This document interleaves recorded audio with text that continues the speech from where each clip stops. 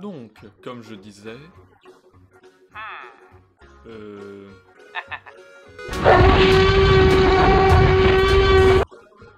Puis-je le récupérer?